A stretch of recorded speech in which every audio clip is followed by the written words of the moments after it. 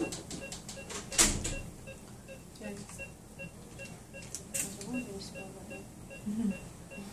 good hand position.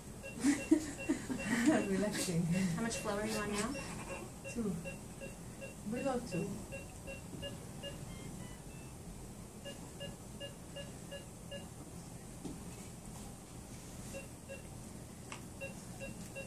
شايف ان عشان تتعلم التكنيك هذا يعني demonstration.